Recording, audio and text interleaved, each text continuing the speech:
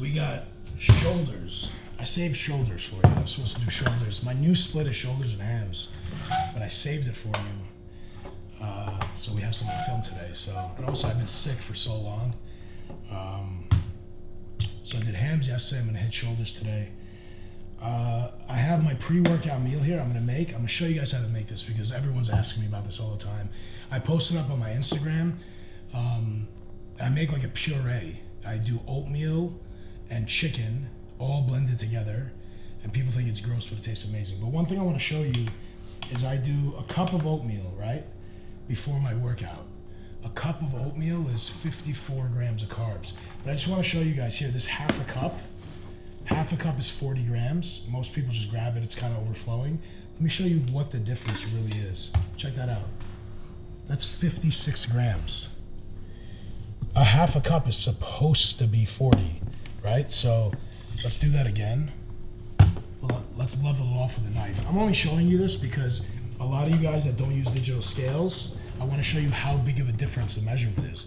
Now, if it's just lifestyle, it doesn't really matter. But if you're trying to be meticulous, I mean, who the hell does that? I don't.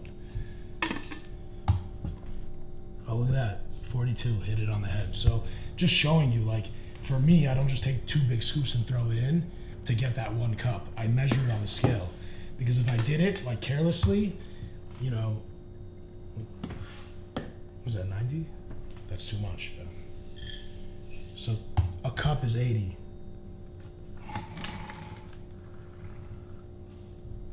67,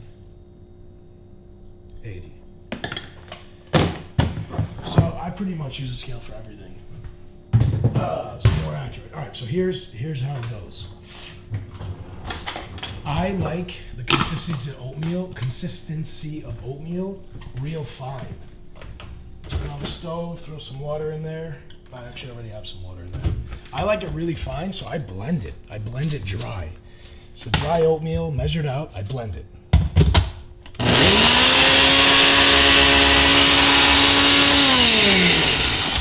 By the way, this Ninja is awesome. This thing lasts forever. The motor's powerful, and these blades are legit. If you guys are listening, Ninja, send me the bill. Send me the send me the check. I need a sponsorship. So I had like like ten. What is the other one called? Kabir. The, um, Nutra, NutriBullets. NutriBullet, yeah, yeah. I had like five of those. They all broke, and I use this like four times a day sometimes. So it's real fine. You guys see, it's pretty much like oat flour. You know, if you buy oat flour, that's the consistency you get. So I throw that in there. I got my whisk. I used to call this a, a whisker. A whisker. That's wrong, right? I never heard that before. Maria, is that wrong? Whisker? Whisk. It's a whisk. so I used to call it a whisker. I have come take a close look here. I have um I put pink, pink salt in my in all my meals. It's double the sodium. Regular salt, a quarter teaspoon is 250 milligrams, 250 milligrams of sodium. This is 540. I uh, I put a heaping, a real big heaping teaspoon, quarter teaspoon. I got my cinnamon, flavor and health benefits, and I have stevia. This is organic powdered stevia from Whole Food. Trader Joe's has the same exact one, but they're more expensive at Trader Joe's, surprisingly, because usually Whole Foods is an expensive one. All right, so I mix this around. I don't put a lot of water because I personally like it um, really, really thick. Turn it down a bit. Now here's the magic.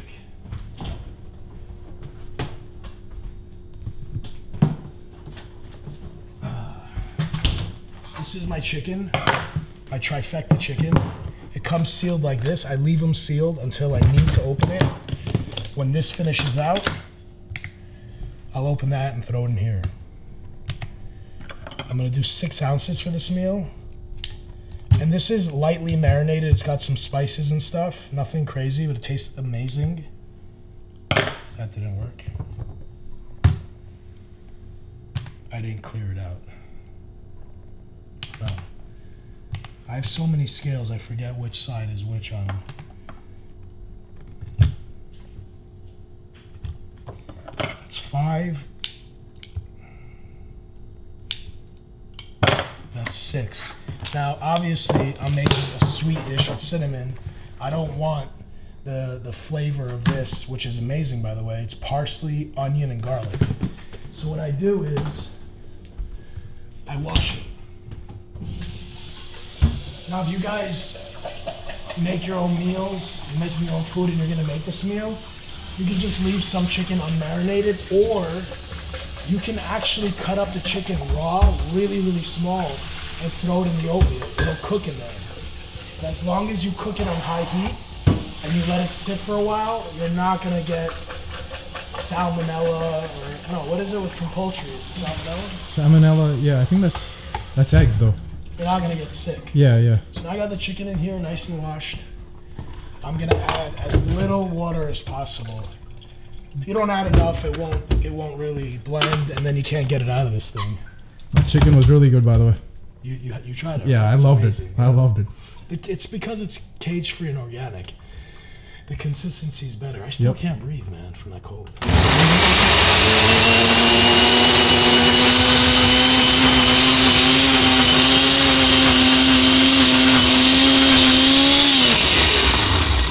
Now you guys can flavor this any way you want, and I know it sounds gross, but like chicken and like egg whites and stuff, it can be flavored any way you want. When I put stevia in my chicken, people are like, oh, that's weird. But you guys don't realize how many restaurants and cuisines you've had that have sugar in your dishes, you know? I pretty much got it all out, but sometimes I'll have to throw water in there.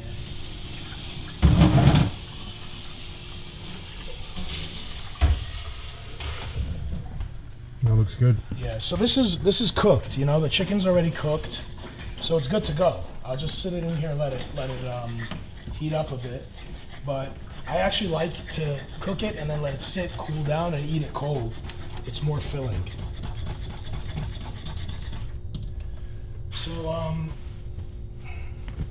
that's pretty much it. You know. Why do I do this?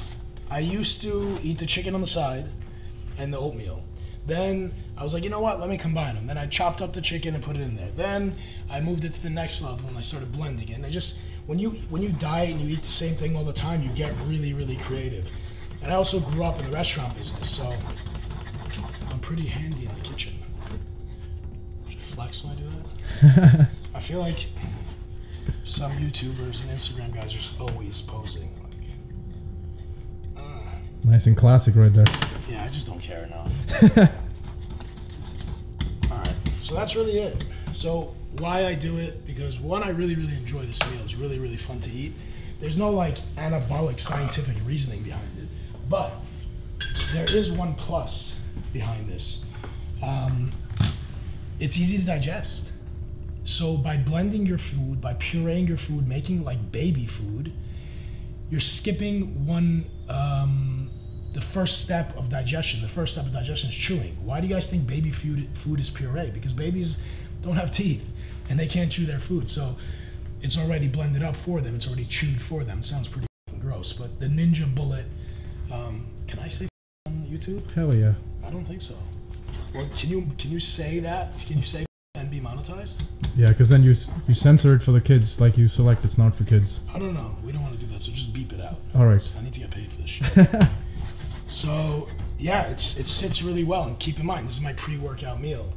Babe, are you ready for yours? Yeah. She does the same thing with hers. So her oatmeals are. It doesn't look pretty because it's been sitting here, but she blended it, made it, and then she has protein powder. Um, uh, because it just sits really, really well with her. Do you have chicken in yours as well, Maria? No, I just use the protein powder and I let it sit for like a half hour. I don't really like it too hot. Shameless plug. She has MFit because she's sponsored by MFit. I'm sponsored by Diamond So she does MFit. What flavor do you do? Vanilla. She does MFit in hers, but it finished. It's and the rest is back in her house, so she's Yeah. got to use Dymatize now. I mind. Hmm.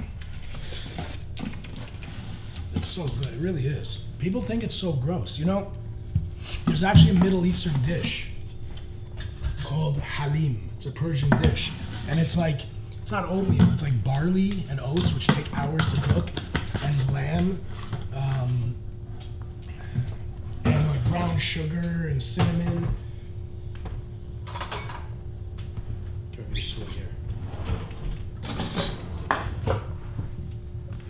She always makes a mess. So I'll, I'll. So take a close look at this. For you guys that want to do protein powder, This sat for like an hour, right? So yeah, this sat for a long time, so it got it got firmer. Um, I personally like this consistency, and I like it when it's cold. One thing, like you learn a lot when you diet, you know. But when you put the protein, look, it gets softer. So one thing, when you diet, you learn so many things. Like, you know, you like your food warm, but what I realized when I eat my food warm, it's less filling.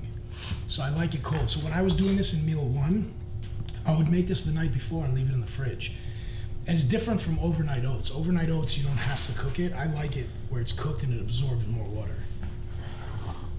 So ideally, I would like to have this cooler. I'll put this in the freezer for a few minutes. But yeah, when it's, I just like it cooler. I like the consistency better. And I'm a, like a kind of fast eater, so if you give me something really hot, I don't wait till it gets cool and I burn myself. You know, you should unplug shit if you're not using them. Yeah. Yeah. It, even when things are plugged in, they're still using energy. All right, so I'm getting ready to work out. Um, this is what I do. I need this shaker. There's protein powder in this shaker. I was in the Bronx all day yesterday, most of the day. Um, I had to replace a boiler, so we weren't sure how long we'd be gone. So I took a meal and I just took that as a backup just in case. All right, so this is what I do pre-workout. I think this is almost finished.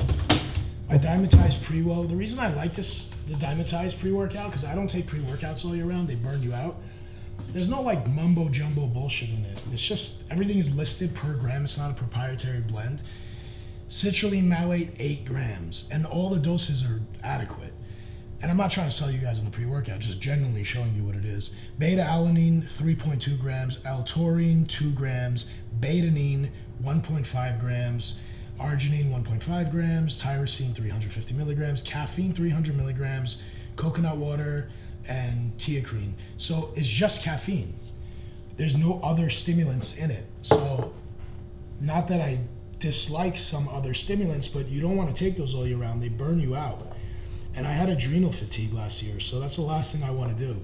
So pretty much this is kind of like having a large black coffee and then all of that stuff that you're gonna take for like your pump, you know? So I'm cool with that. I just don't want to put any like hardcore stimulants in me year round. Because then when you need them and you're tired and prep and you want to get leaner and you want to take those stimulants, they're not gonna work. This is my intro workout. This is my sick corner. It's, I don't know what's going on. It's been like two weeks I've been sick. I got better now, but I finally got antibiotics and some cough medicine. I try to avoid antibiotics at all costs, but I couldn't this time. All right, so I do five grams of creatine a day. I always did five grams in my post workout. Recently, I've been doing 2.5 in the pre workout meal and 2.5 in my post workout. So I'll mix this in there, or if it's really hot, I won't mix it. I'll just drink it separately. I'm really, really big on glutamine. This is micronized. You got 5, 10, 15 grams of glutamine. And about half hour into my workout, I start sipping this. One huge scoop of all nine. I love all nine. It tastes incredible. They have a lot of flavors. They have cola, which is a really interesting flavor. It tastes good. It tastes like tastes like soda. What's your favorite one? Uh, this is Fruit Fusion Rush. I really, really like this. I think I would say between this and the watermelon. The watermelon's incredible, and I've always been a watermelon junkie. And then there's like a Jolly Green Apple. It's like Jolly Rancher, but it tastes incredible. But for you guys that don't know what all nine is, it's all nine essential aminos. So there's like 20 amino acids. Branch chains is only three. You need all of them. And our body, uh, we don't have the, the nine essential amino acids is the ones that we don't have. So we need to supplement with. So besides the three branch chains, there's six more amino acids. So you guys can take a close look. So you got your BCAAs here, 7.2 grams, which is a hearty dose, by the way. Leucine, L-leucine, L-valine, L-isoleucine, and L-valine. And then these are the six others. So together, it's the all nine essential. Shameless,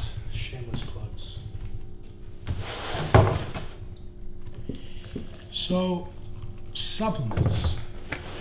You need them. I'm not going to tell you to buy something because I'm sponsored by it. That's not who I am.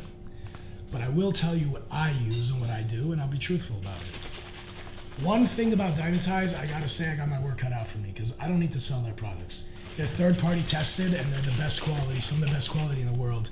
And I've been using it since I was a kid. When I can afford it, when I could afford good supplements, I used to buy it when I was younger. When I couldn't, I wouldn't. So that's my advice. Should you guys take supplements? If you're going to get good quality supplements, if you can afford it, yes, it's a supplementation on top of your diet and it can help you. If you're gonna be, if you're gonna, if you don't have the money and you're gonna be cheap and try to buy something cheaper, don't. Just eat food because cheap supplements suck. They don't work, especially protein powder.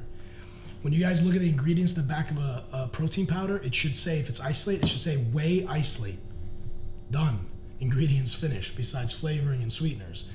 It shouldn't be a proprietary blend. It shouldn't be whey concentrate, lower quality. So my answer is if you can if you can get if you have access to high quality supplements, use them. If you don't, don't use them because low quality supplements are a waste of money, a waste of time, and honestly, I wouldn't want to put that shit in my body. So you never know what's gonna what's gonna come about. So since this is not sitting that long and it's probably still a little warm, I'm just gonna take the creatine and water. So this is half a teaspoon. Five grams is two teaspoons. So that's one teaspoon. I'll leave this here for post-workout. I'm gonna have another teaspoon after I work out.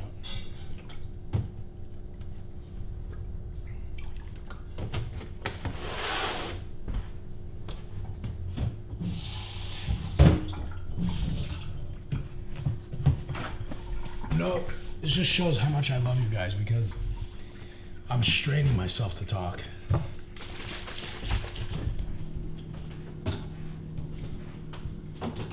I like to drink my intro workout and my pre workout really cold, so I'll throw it in the freezer until it's time to go. Random question. Yeah. Does taking a cold shower before the gym actually help? Like, does it wake you up? Just because you mentioned having a cold pre-workout shake, I've heard that. Is that true? Hmm. I guess that depends on the individual. I personally like to shower before I train. So like I woke up this morning and I've been working in the house. I'm not dirty or sweaty, but I showered. We can get that next week if you want for some of the special viewers. so I just like to shower just because I like to be feel clean when I come to train. Cold showers have awesome health benefits. They can help you raise testosterone and they can help um, raise your metabolism. So you can get leaner from cold exposure. Sounds crazy, right? You can get leaner from ice baths and cold showers, but we're not talking about just like a cold two minute shower. We're talking about ice cold water on the back of your neck, cooling your core. Why? Same reason why you need to double your calories when you're in Alaska. This is a known fact. If you guys go into the, the snowy mountains, it's known that you need to increase calories to, to maintain because your body works harder to stay warm, right? So cold exposure will get you leaner. All things being equal, right? We're not talking about diet and training, just cold exposure. Right. Now, cold shower will it benefit you before a workout? I don't think so. If you need it to wake up, I mean maybe, but then you have other problems if you can't wake up on your own or some caffeine. And to be honest with you, I mean, a cold shower an hour, hour and a half before your workout's not going to affect you negatively, but the last thing you want to do right before you work out is be cold. Right. That's why we warm up. Okay.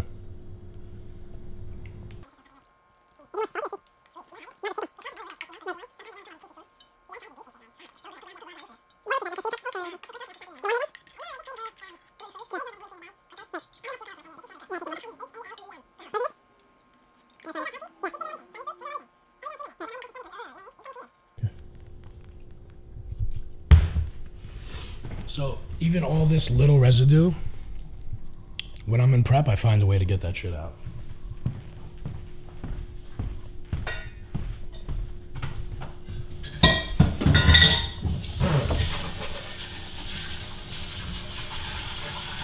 I usually like after I eat, I'll take my time, head over to the gym.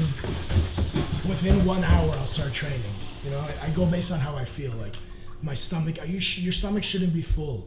You don't want to be uncomfortable, and also you guys have to understand when you eat, blood goes to your stomach to digest. You start working out, blood goes to the muscle. So it's like, where do you want? You know, you don't have that much blood flow where you're going to be digesting and getting a pump and training at the same time. So you want to do one and not the other. You guys want to see what's in my gym bag? Let's do it. It's a big ass bag. Before we head out, can I also? Well, I'll ask you later. But what exactly is that thing hanging there? That thing you can show them.